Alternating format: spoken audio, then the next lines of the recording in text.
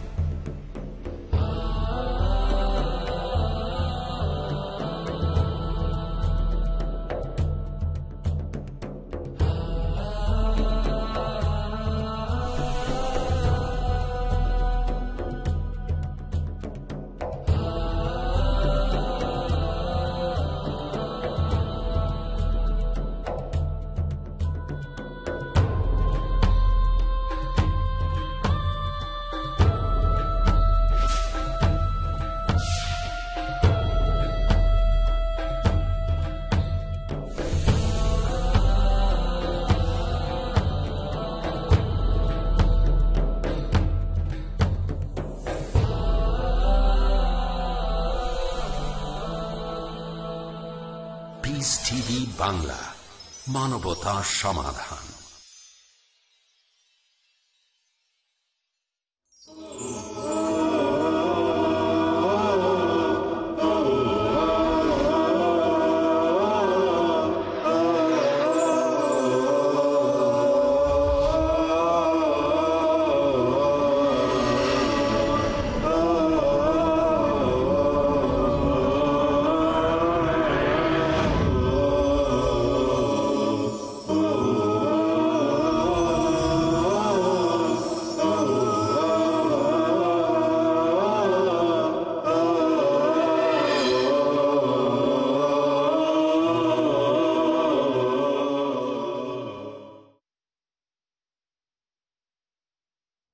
আসসালামু আলাইকুম ওরহমতুল্লাহি ওবরাকাত আলহামদুলিল্লাহ রবিল আলমিন ওসলাত ওসালাম আল্লাহ রসুলহিল করিম আম্মাবাদ পিস টিভি বাংলা দর্শক, শ্রোতাবৃন্দ, মহাগ্রন্থ আল কোরআনের তাফসির এবং ব্যাখ্যা বিষয়ক অনুষ্ঠানে আপনাদেরকে স্বাগত জানাচ্ছি। আজ আমরা আপনাদের সামনে পবিত্র কোরআনের আরবি বিষয়ক যে সমস্ত তাফসির পৃথিবীতে সুপ্রসিদ্ধি লাভ করেছে এবং যে তাফসিরগুলোর মাধ্যমে মহাগ্রন্থ আল কোরআনের অন্তর্নিহিত ভাব এবং বিষয় মানুষের সামনে ফুটে উঠেছে। এই বিষয়গুলোকে নিয়ে আমরা আলোচনা উপস্থাপন করব। আজ আমাদের এই আলোচনা অনুষ্ঠানে আমাদের এই আলোচনা অংশগ্রহণ করার জন্য তাশরিফ এনেছেন। আমি তাদেরকে প্রথমে আপনাদের সঙ্গে পরিচয় করিয়ে দিচ্ছি। আমার ডানে আছেন শাইখ আব্দুর রাজ্জাক বিন ইউসুফ। আসসালামু আলাইকুম। আর তার পাশে আছেন প্রফেসর ডক্টর মোহাম্মদ লুকমান হোসেন। আসসালামু আলাইকুম। আমাদের সাথে আছেন শাইখ মাওলানা আমানুল্লাহ। সালামু আলাইকুম রহমতুল্লাহ বারাকাত আর আরও আমাদের সঙ্গে আছেন শেখ ডক্টর মুসলিহুদ্দিন। সালাম আলাইকুম রহমতুল্লাহ। অনুষ্ঠানটির উপস্থাপনায় আমি ডক্টর আহমদুল্লাহ আপনাদের সাথে রয়েছি। আমরা পূর্বের দু একটি অনুষ্ঠানে কোরআনের তাফসির তাফসিরের প্রয়োজনীয়তা তাফসির কাকে বলে কেন তাফসির শব্দটিকে কোরআন ব্যাখ্যার ক্ষেত্রে ব্যবহার করা হয় ইত্যাদি বিষয়গুলো নিয়ে আলোচনা করার সুযোগ পেয়েছিলাম। সেই সাথে আমরা একটি বিষয়কে তুলে ধরার চেষ্টা করেছি যে কোরআন উপলব্ধি করার জন্য কোরআনের অন্তর্নিহিত ভাব বিষয়কে হৃদয়ঙ্গম করার জন্য তাফসিরই হচ্ছে একমাত্র মাধ্যম। সর্বপ্রথমে তাফসির কার্যক্রম শুরু হয় স্বয়ং বিশ্বনবী মোহাম্মদুর রসুল্লাহ সাল্লাহু আলহি ওয়াসাল্লাম থেকে। এবং এই কোরআনকে মানুষের কাছে বোধগম্য করে উপস্থাপন করার পরবর্তী দায়িত্ব পালন করেন রাসুল সাল্লাহ আলী ওয়াসাল্লামের সুপ্রিয় সাহাবাই কেরামগণ। এবং আমরা এও জেনেছি যে সাহাবাই কেরামগণের মধ্যে তাফসির কারকদের অন্যতম ছিলেন আবদুল্লাহ ইবনে আব্বাস রাজি আল্লাহ তালা আনহু আবদুল্লাহ ইবনে মাসউদ রাজি আল্লাহ তালা আনহু হজরত আলী রাজি আল্লাহ তালা আনহু খোলাফাই রাশিদিনদের হজরত আবু বাকর রাজি আল্লাহ তালা আনহু সহ বিশিষ্ট সাহাবাই কেরামগণ। এরই ধারাবাহিকতায় সাহাবাই কেরামদের থেকে যে তাফসিরগুলো সংকলিত হয়েছে, তার পাশাপাশি পরবর্তী সময় সাহাবাই কেরামদের সাথে তাবে ঐগণ তাবে তাবি ঐগণ কোরআনকে ব্যাখ্যা করার জন্য বিভিন্ন মূল্যবান তাফসির রচনা করে গেছেন। আরবি ভাষায় বিশেষ করে যে সুপ্রসিদ্ধ তাফসিরগুলো সারা বিশ্বময় মানুষের জ্ঞান ভাণ্ডারকে সমৃদ্ধ করেছে, আমরা এই তাফসিরগুলো থেকে পর্যায়ক্রমে গুরুত্বপূর্ণ তাফসিরগুলোর বৈশিষ্ট্য সহ আলোচনায় নিয়ে আসব। তবে তার আগে আমরা আমাদের শেখকে আলোচনায় অংশগ্রহণ করার জন্য আমন্ত্রণ জানাব যে আরবি ভাষায় যে তাফসিরগুলো রচিত হয়েছে, এই তাফসিরগুলোর রচনার বৈশিষ্ট্যটি, যেমন আমরা জানি যে তাফসির বিল মাসুর, অর্থাৎ দলিল ভিত্তিক তাফসির, আরেকটা হলো তাফসির বিল রায় বা কল্পনা প্রসূত বা গবেষণামূলক তাফসির। এই দুটো বিষয়কে একটু পার্থক্য করে আমাদের সামনে একটু উপস্থাপন করবেন যে এই তাফসিরগুলো রচিত হওয়ার মানে বৈশিষ্ট্য কি ছিল। জি তাফসির প্রত্যেকটা মানুষের জন্য জানা ও বোঝা জরুরি। কেননা কোরআন বোঝার এটাই বড় মাধ্যম মাধ্যম। যে তাফসির জানতে হবে। কোন আয়াতের কি অর্থ হতে পারে কোন আয়াতের সারমর্ম কোন আয়াতের ফায়সালা সিদ্ধান্ত কি হতে পারে এটা জানতে হলে এবং এ অনুযায়ী কথা বলতে হলে অবশ্যই আমাদেরকে তাফসির বিষয়ে অবগত হতে হবে। এ ব্যাপারে আমরা খুব আগে যে তাফসির গ্রন্থ হিসাবে বিশদ ব্যাখ্যার তাফসির যদি আমরা দেখি, তাহলে আমরা দেখতে পারি তাফসিরে তাবারি। জনাব আল্লামা সাহেবে তাবারি, উনি প্রত্যেকটা আয়াত নিয়ে আসার পরে সর্বপ্রথমে তিনি সংক্ষিপ্ত আয়াতের সারমর্ম আলোচনা করেছেন। এরপরে তিনি ওই বিষয়ে হাদিস পেশ করেছেন। তারপরে তিনি ওই বিষয়ে কিছু আর তাফসিরে হাদিস উল্লেখ করার ক্ষেত্রে কিন্তু একটা বৈশিষ্ট্য আছে যে তিনি সনদ সহ এবং জি তফসিরে তাবারি প্রত্যেকটা হাদিস পেশ করেছেন সূত্র সহ সূত্র সহ এটা কিন্তু একটা বিশাল না কিন্তু এখানে আবার আরেকটা দিক হ্যাঁ, আছে। এবনে জারির কিন্তু নিজেই সনদের অংশ। রাওয়া এবনে জারি হ্যাঁ, অন্য পরবর্তী তাফসির কারকরা এবনে জারিকে নিজের সনদেই হাদিস বর্ণনা করছেন অনেক ক্ষেত্রে। জি জি। এই জন্য দেখা যায় পরবর্তী তাফসিরে। রাওয়া এবনে জারির আন ফুলান ফুলান ফুলান ফুলান। আচ্ছা আমরা তাফসিরে আমরা ইবনে জারির তাবারি প্রসঙ্গে একটু পরে আসব। আমার কিন্তু জিজ্ঞাসা ছিল যে এই যে তাফসির বিল মাসুর এবং তাফসির বিল রায় আচ্ছা ওটাতে এই দুটো জিনিস একটু ক্লিয়ার হওয়া দরকার। তাফসির বিল রায় আর তাফসির বিল মাসুর। আসলেই মূলত আমাদের তাফসির বিল রায়ের চেয়ে তাফসির বিল মাসুরই হতে হবে। মাসুর বলতে ওই তাফসির যেটা হাদিস আসার মানে কোনো রয়েছে।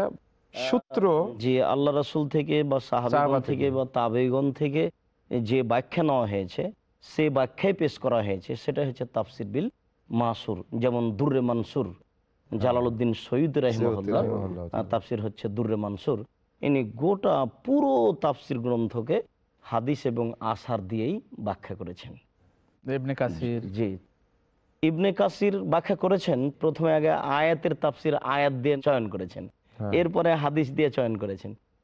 জনাব জালালউদ্দিন সৈয়দ রাহেমহল্লা আল্লাহ তাকে জাজায় খায়ের দান করুক আল্লাহ তার কবরের শাস্তি মাফ করুক আল্লাহ তার কবরকে উজ্জ্বল করুক আলোকিত করুক। উনি তাফসির করার সময়তে আসার গ্রহণ করেছেন আসার। গ্রহণীয় কি না এই ব্যাপারে কোনো ভুল করেছেন মতামত নিয়েছেন। এটা আমরা মনে করতে পারছি না। মনে হচ্ছে যেন ওনার যত পেয়েছেন ততই জড়ো করেছেন। শুক্রান শেখ? জি শুক্রিয়া। এখানে বিষয়টা হলো আমি একটু যে এই যে আল্লামা জালালউদ্দিন সৈয়দি রাহিমাহুল্লাহ তাআলার কথা কিন্তু এসে গেছে।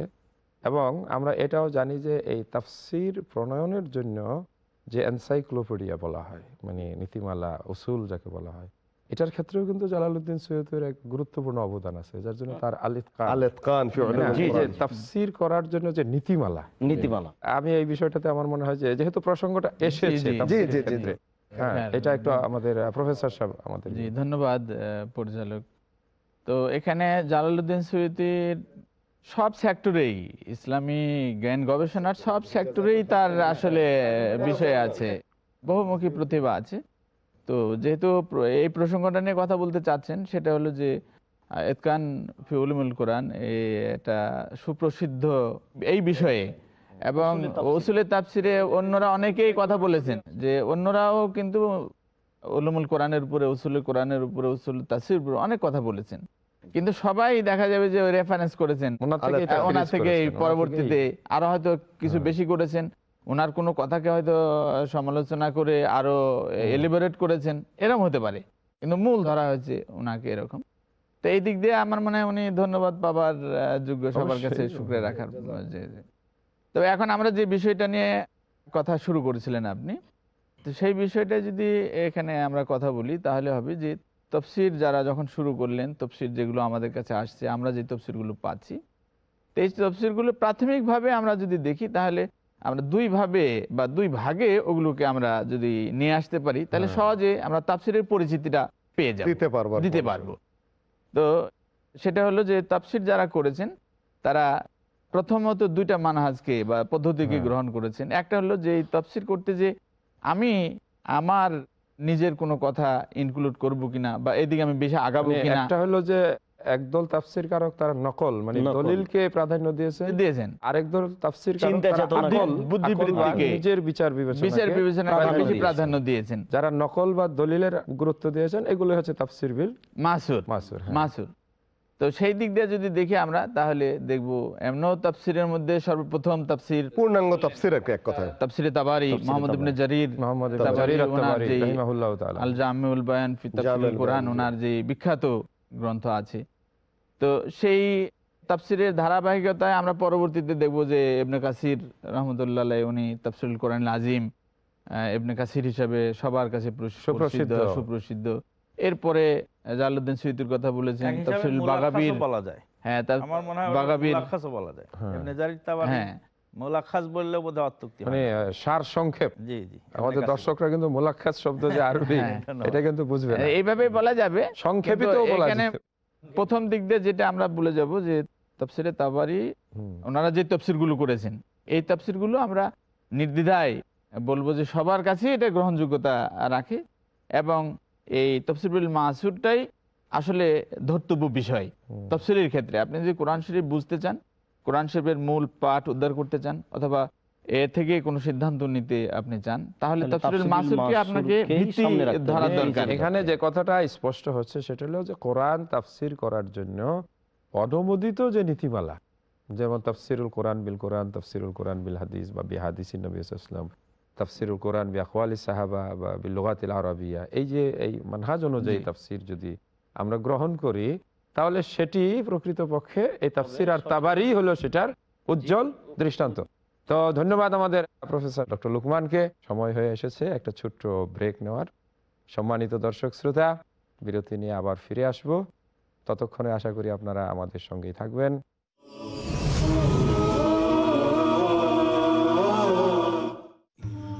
إنه من يشرك بالله فقد حرم الله عليه الجنة ومأواه النار নিশ্চয়ই যে আল্লাহর সাথে শিরকে লিপ্ত হয় আল্লাহ তার জন্য জান্নাতকে হারাম করে দেন এবং জাহান্নাম অবধারিত করে দেন। শহীদুল্লাহ খান মাদানী। জান্নাতে যাওয়ার এবং জাহান্নাম হতে বাঁচার একটি মাত্র পথ তাওহীদ। আল্লাহ সুবহানাহু ওয়া তাআলার তাওহীদ জানার জন্য দেখুন আমার ধারাবাহিক দার্স কিতাবুত তাওহীদ। দেখুন কিতাবুত তাহিদ কাল রাত এগারোটায় বা পুনঃ সম্প্রচার সকাল দশটায় বাংলাদেশে পিস টিভি বাংলায়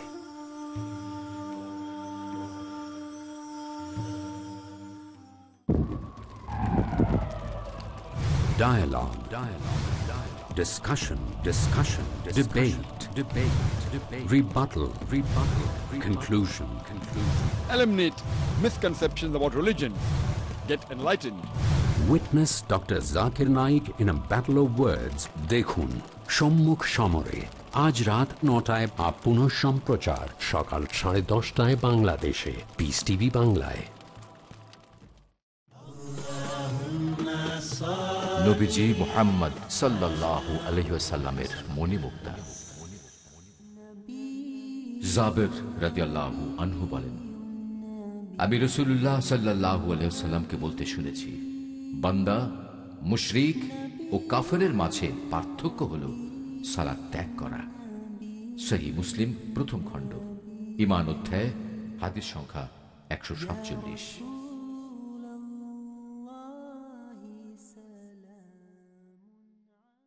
The students of Islamic International School welcome all of you. Assalamu alaikum wa rahmatullahi wa barakatuh.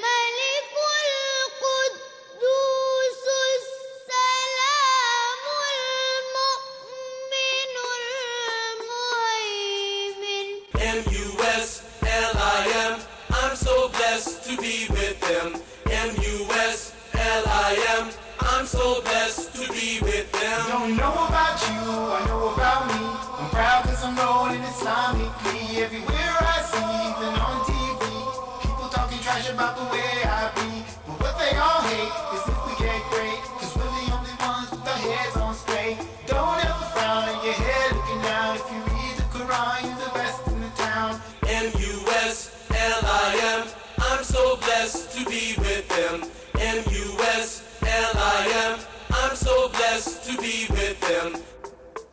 watch little wonders at the best বিস্ময় শিশুরা পরবর্তী অনুষ্ঠান পিস টিভি বাংলায়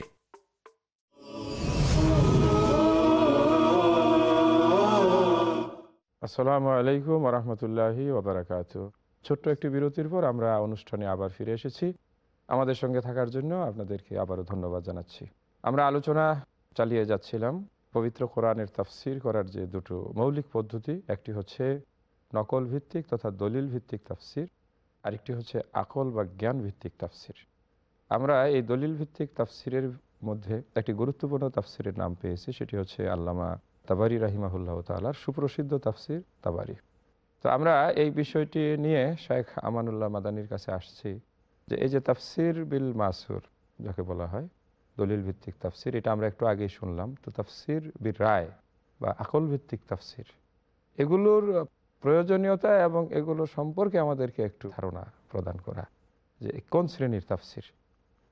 তাফসির বির রায় মানুষের অভিমত ব্যক্তিগত অভিমত অথবা দলীয় চিন্তা চেতনা ধ্যানধারাকে খেয়াল রেখে যে সমস্ত তাফসির সংকলিত হয়েছে তার মধ্যে একটি তাফসিরের নাম আমরা উল্লেখ করতে পারি যেমন তাফসিরে কাশ্যাপ।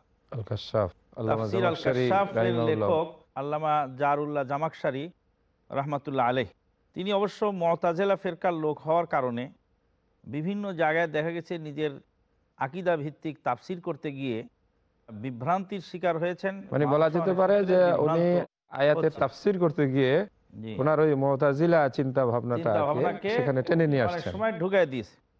যেটা এমনভাবে সূক্ষ্মভাবে ঢুকিয়ে দিয়েছে যেটা সাধারণ পাঠকদের জন্য বোঝাটা খুব কঠিন। যেমন এক জায়গায় তিনি আয়াতের ব্যাখ্যা করতে গিয়ে বলছেন ওমান জুহজিহা আনিন্নার ওউদ খিলাল জান্নাহ ফাকাদ ফাজ। যে ব্যক্তিকে জাহান্নামের আগুন থেকে বাঁচানো হলো এবং জান্নাতে দিয়ে দেওয়া হলো সে সফল হয়ে গেল। এখানে উনি বলতে চাচ্ছেন যে, যদি জান্নাতে চলে যায় আর জাহান্নাম থেকে বেঁচে যায়, তাহলে সে সফল হইলই। এখানে আর বাকি থাকে? এরপরে আর কোনো কিছু বাকি থাকে না। পরবর্তীতে যারা পর্যালোক, পর্যালোচনা করছেন, পর্যালোচনা করতে গিয়ে বলছেন যে জান্নাতে যাওয়ার পরেও তো দিদার এলাহি বাকি আছে। বাকি আছে আল্লাহর দিদার। তো আল্লাহর দিদারকে আল্লাহর সাক্ষাৎকে তারা অস্বীকার করে। যেহেতু আল্লাহ রাবুল আলমিনের আকারকেই অস্বীকার করে। যার ফলে তিনি বলছেন যে জান্নাতে যাওয়ার পরে আর কিছু বাকি থাকে না। যে জান্নাত পেয়ে গেল সে যেন সব কিছুই পেয়ে গেল তার তার কিছু বাকি থাকে না। কিন্তু জান্নাতে যাওয়ার পরেও জান্নাতিদের আর একটা তৃষ্ণা বাকি থাকবে। সমালোচকগণ তাই বলতেছেন যে উনি আল্লাহর রুইয়াতুল্লাহকে আল্লাহর সাক্ষাৎকে অস্বীকার করার জন্যই বলে দিচ্ছেন জান্নাতে চলে গেলে আর কিছু বাকি থাকে না মানে এটাই হচ্ছে তাদের আকিদাগত কুফল। চিন্তা কুফল উনি বলছেন ইলা রব্বিহা নাযিরা। ইলা- ইলা- ইলা রব্বিহা নাযিরা। আরেক আয়াত হলো লা তুদরিকুল আবসার আবসার, হুম। এখন দুইটার মধ্যে খাপ খাওয়াইতে যায় মানে কেয়ামতের দিন যে আল্লাহ নেক বান্দারা আল্লাহকে দেখবেন এটা তো উনি মানেন না যেহেতু মতাজেলা আল্লাহ কোনো এই এর মধ্যে সীমার মধ্যে সীমাবদ্ধ হতে হবেন না। তিনি কোনো বস্তু না। তাকে আবার একজন দেখবে কীভাবে? এটা আকলি চিন্তায় মানুষের চিন্তা ভাবনার মধ্যে ধরে না এটা। সুতরাং যেহেতু মতাজলি ফিলোসফার কাজে এটা তিনি মানেন না, সুতরাং কোরআনের আয়াতগুলাকে তিনি কি করবেন? যখন বলতে থাকেন, বলতেই থাকেন বলতেই থাকেন বলতে থাকেন, চূড়ান্ত পর্যায়ে না আনে আর থামবেন না। ভাষাগত কি হতে পারে? ভাবগত কি হতে পারে? কবিতা আর কি কি সাক্ষ্য থাকতে পারে এখানে? সব কিছু চূড়ান্ত পর্যায়ে নিজেটা টিকাবেন উনি।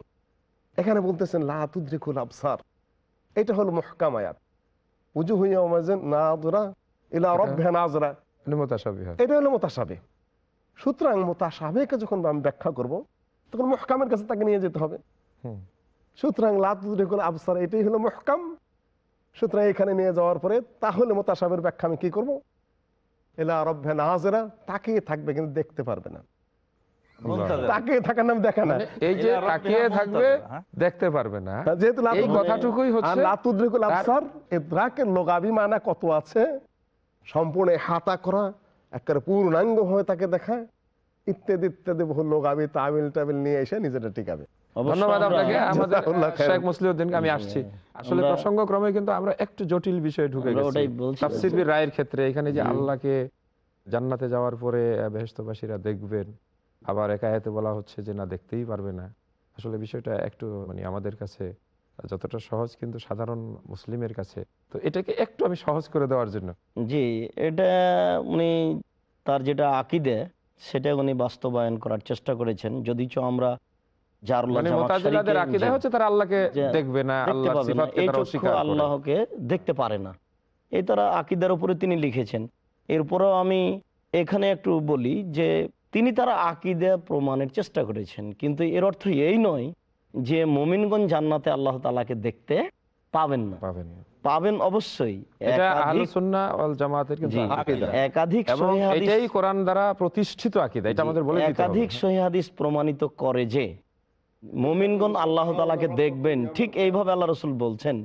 সাহাবিগঞ্জ বললেন যে আমরা আল্লাহকে দেখতে পাবো। এটা কেমন? তো আল্লাহ রসুল বললেন যে পূর্ণিমার পনেরো দিনের চন্দ্রকে যেমন মানুষের দেখতে কোনো সমস্যা হয় না জান্নাতে মোমেন নারী পুরুষের আল্লাহকে দেখতে কোনো সমস্যা হবে না। এরকম ভাবে আল্লাহ তালা মানুষের সামনে স্পষ্টভাবে আসবেন। তবে আমরা এখানে জারুল্লাহ জামাকসারির এ আকিদে পেশ করার পরেও আমরা এই কথা বলে রাখতে পারি যে অবশ্যই তাফসিরে কাশ্যাপ গ্রন্থটি ইলমে বালাগাত ইলমে মানি ইলমে বায়ান ইলমে নহ অলংকার শাস্ত্রের হিসাবে বলতে গেলে একেবারে উপর মূল্যবান, মূল্যবান মূল্যবান, একেবারে উপর আমরা এই বিষয়টাই আমাদের এর থেকে কিছু ফিরে ডক্টর লোকমানের কাছ থেকে যেহেতু উনি আহ, বাংলাদেশের ইসলামী বিশ্ববিদ্যালয়ের আল কোরআন বিভাগের প্রফেসর এবং এইগুলোই ওনাদের গবেষণার বিষয় আমি এটা বলতে চেয়েছিলাম যে এই যে তাফসির আল কাশাফ যেটা আমাদের শাহেখ আমানুল্লাহ মাদানি তাফসির বি রায়ের ক্ষেত্রে মানে আকলি তাফসির জ্ঞানগত তাফসিরের একটি সুপ্রসিদ্ধ কিতাব যখনই মানুষ নিজের জ্ঞানে কোরআনের উপরে কথা বলতে গেছে তখনই সে বিচ্ছুত হয়েছে। আল্লামা জারুল্লাহ জামাকসারি এলেমের দিক থেকে পাণ্ডিত্যের দিক থেকে জ্ঞানের দিক থেকে তিনি কিন্তু অপ্রতিদ্বন্দ্বী বলা যেতে পারে যে একটা দিকপাল জ্ঞানের দিকপাল। কিন্তু যখনই তিনি আকলকে খাটাইতে গেছেন তখনই কোরআন ব্যাখ্যার ক্ষেত্রে তার কি হয়েছে? হয়ে। তারপরেও মানে তিনি কাশাফ। কিন্তু এই কোরআন। ব্যাখ্যার ক্ষেত্রে একটা গুরুত্বপূর্ণ একটা গ্রন্থ গ্রন্থ। হিসাবে মুসলিম আলেমদের কাছে সমাদৃত। এটি কেন? এটা অত্যন্ত গুরুত্বপূর্ণ টার্নিং আমাদের একটা বিষয় যে ইমাম জামকশরী তার যে তাফসির লিখেছেন তাফসির যে পাঠ করবে যদি সচেতন না হতে পারে তাহলে ওনার তাফসিরে উনি যেভাবে বলে গেছেন সেখান থেকে বেরিয়ে আসা অথবা বিভ্রান্তি থেকে বাঁচা অত্যন্ত কঠিন হয়ে যাবে। এবং এই মোতাজেলা আকিদার বিষয়টাকে যদি আপনি মাইনাস করেন তাহলে অপ্রতিদ্বন্দ্বী একটা তাফসির এবং সমস্ত মুসলমানের কাছে এটা মানে গ্রহণযোগ্যতা এক বাক্যে লাভ করে যাবে। যখন আমি কোন একটা তাফসির পড়ব সেই তাফসিরটা কোন ভাগে পড়তেছে এই বিষয়টা পাঠককে আগেই জানতে হবে। যে এটা দলিল ভিত্তিক অথবা হাদিস নির্ভর একটা তাফসির কিনা অথবা এটা বুদ্ধিবৃত্তিক তাপসির কিনা। প্রথমে যদি এই নির্বাচনটা করে ফেলতে পারে তাহলে পাঠক সহজেই বিভ্রান্তি থেকে বেঁচে যাচ্ছে। তো যখন দেখল যে এটা বুদ্ধিভিত্তিক তাফসির তো বুদ্ধিভিত্তিক তাফসির যেগুলো আছে এগুলোকে সহজভাবে আপনাকে বা পাঠককে বুঝতে হবে যে যে কোনো বুদ্ধিভিত্তিতে যদি তাফসির করে সেটা কিন্তু দুই প্রকারের আমাদের দেখতে হবে দুইভাবে হতে পারে। একটা হলো যে বুদ্ধি উনি খাটিয়েছেন যেখানে খাটানোর দরকার সেই জায়গায় খাটাইছেন এবং সেটা সবসময় উনি খেয়াল রেখেছেন যে শরীয়ত আমাকে যেই পর্যন্ত অ্যালাউ করেছে যাওয়ার জন্য বুদ্ধি খাটানোর জন্য ওর সীমার মধ্যে থেকেই যদি উনি এই বুদ্ধিটার ব্যবহার করে থাকেন তাহলে এটা সবার কাছে গ্রহণযোগ্যতা পাবে এতে কোনো সন্দেহ নেই। আর তাফসির বিল মাসুর যেগুলো আছে সেটা একভাবে ভাগ হবে। সেখানে শুধু এতটুক পাঠকের জন্য আমরা বলে রাখব সেটা হলো যে যারা এই মাসুর দিয়ে হাদিস দিয়ে তাফসির করেছেন সেখানে আবার একটু দেখতে হবে যে ওই হাদিসগুলো নির্ভরযোগ্য কিনা। নির্ভরযোগ্য কিনা। এটা শুধু। হাদিস দিয়ে যদি হয় তাহলে তো সবাই আমরা গ্রহণ করব। এতে কোনো সন্দেহ নেই। কিন্তু হাদিসটাকে আবার গ্রহণযোগ্য হতে পারে অর্থাৎ ওইটা ওই সনদটা আবার হতে হবে হবে। গ্রহণযোগ্য হতে হবে। আর এখানে এসে আমরা যেটা দেখব সেটা হলো যে যদি দলিল ভিত্তিক হতে যায় বা বুদ্ধি ভিত্তিক হতে যায় তখন দুইটা। একটা হলো যে একবারই গ্রহণযোগ্যতা পাবে যদি সে শরীয়তের সীমানার বাইরে না যে বুদ্ধিটা ব্যবহার করে থাকে। আর বুদ্ধি ব্যবহার করতে যদি সীমা পেরিয়ে চলে যায় তখন। তো ওইটাই আমার মনে হয় মাদানী সাহেব বলতে চাইছিলেন।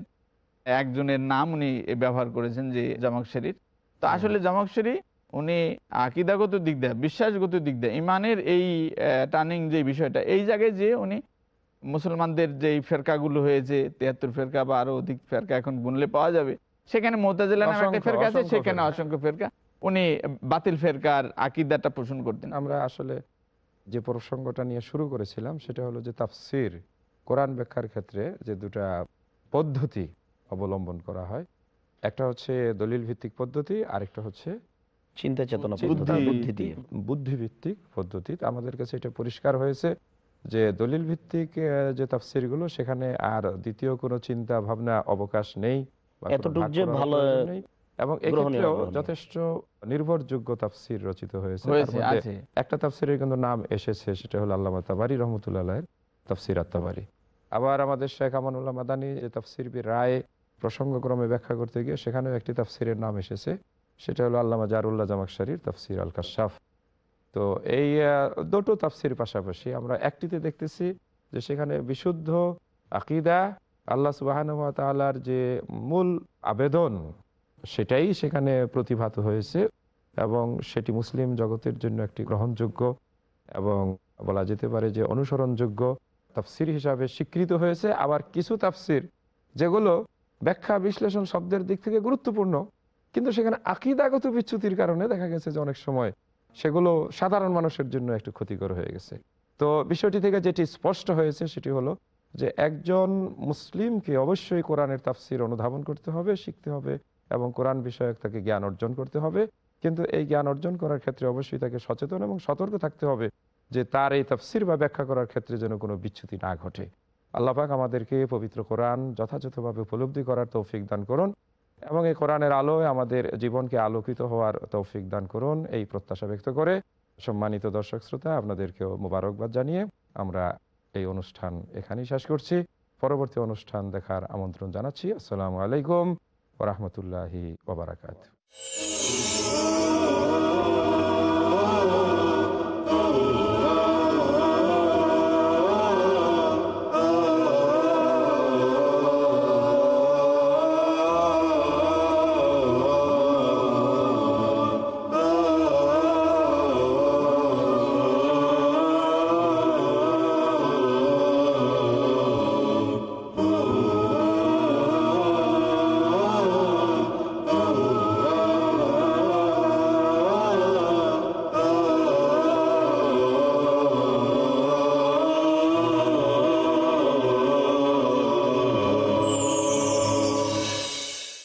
আসসালামু আলাইকুম রহমতুল্লাহ।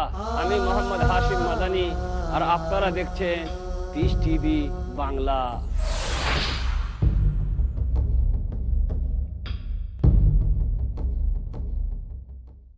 উত্তম ব্যবহার। তোমরা মানুষের সাথে উত্তম কথা বলো সঠিক কথা বলো। সুন্দর অনুষঙ্গ সহনশীলতা। এমন ধরনের আচরণ হবে না এমন ধরনের কথা হবে না যে কথার মাধ্যমে সে কষ্ট পাবে। ন্যায় পরায়ণতা দয়াদ্রতা। একজন মেন আর এক মেন ভাইকে নসিহত পেশ করবে অন্যায় দিকে থেকে বারণ করবে এটি মুমিনের কাজ। কাসেম বিন আব্বাস। একজন একজন মুসলিম উত্তম চরিত্রের অধিকারী হবে। অধিকারী হবে। কেন ইসলাম দিয়েছে ভালো আচরণের উপর এত জোর বোঝার জন্য দেখুন চরিত্র গঠনে ইসলাম আজ রাত সাড়ে আটটায় বা পুনঃ সম্প্রচার সকাল সাতটায় বাংলাদেশে পিস টিভি বাংলায় أفغير الله أبتغي حكما وهو الذي أنزل إليكم الكتاب مفصلا والذين آتيناهم الكتاب يعلمون أنه منزل من ربك بالحق فلا تكونن من الممترين